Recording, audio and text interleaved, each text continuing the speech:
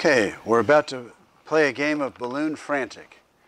I'm going to toss a ball up, and you guys bat it in the air, and the idea is to hit, prevent it from hitting the ground. If the ball hits the ground, then I say berserk, and when you get six berserks, the game is over.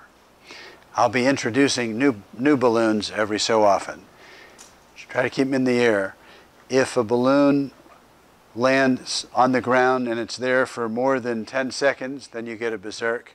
And also, one person cannot hit a balloon twice in a row. Uh, that's a berserk. Any questions? Okay, let's begin. Okay. All right, we're doing good.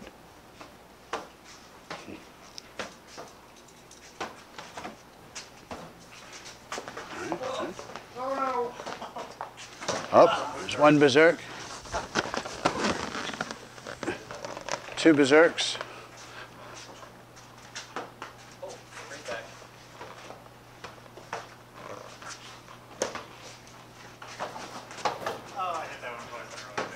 Three berserks, four berserks, five berserks.